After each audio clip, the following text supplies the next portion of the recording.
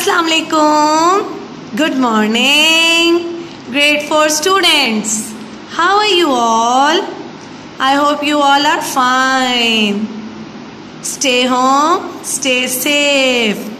Don't go outside, okay? It is not safe for you. Okay, students? Okay, now open your countdown. Hold your pencils.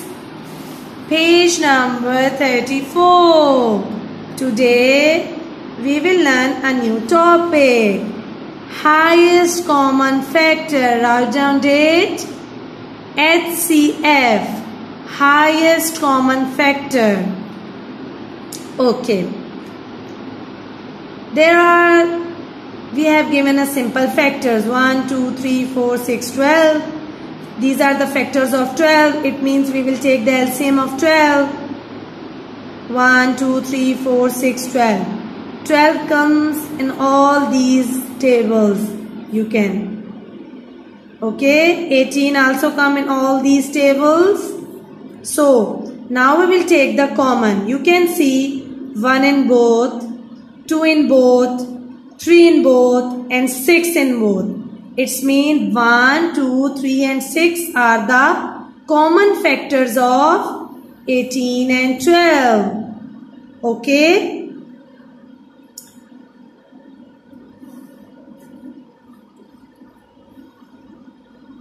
Now come to page number 35. There is another question. Factors of 24 and factors of 18. As you can see, common factors. These are the common factors. 1, 2, 3 and 6. These are the common factors. Okay students?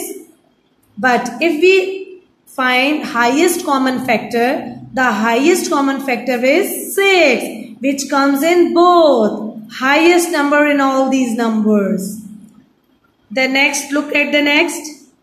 16 we will take the LCM of 16 these are the factors. 32 these are the factors. And 40 1 is common 2 is common 4 is common and 8 is common. Which is the greatest or highest common factor?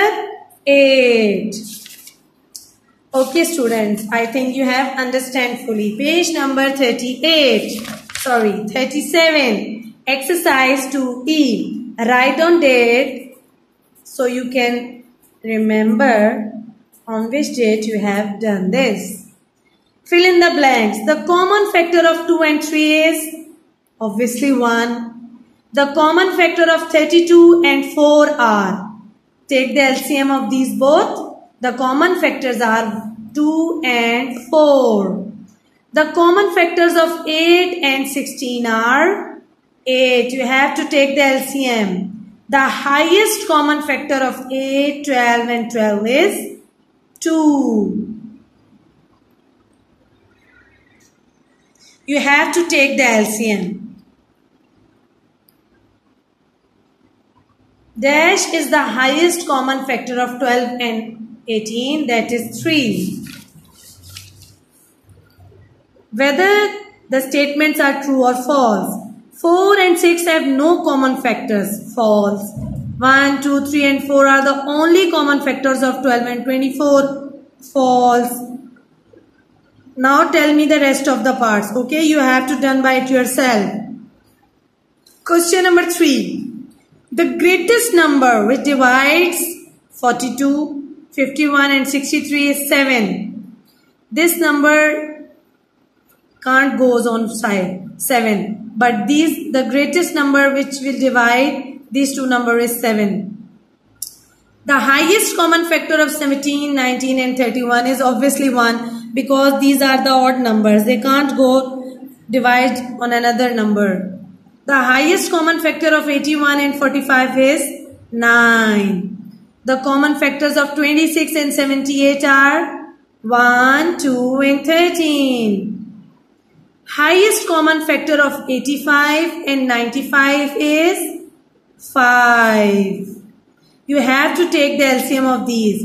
So you can get the highest common factor or common factors. Okay students, you have to complete exercise 2E. Question number 1, 2, 3 on book. Have a blessed day. Keep smiling. Allah Hafiz.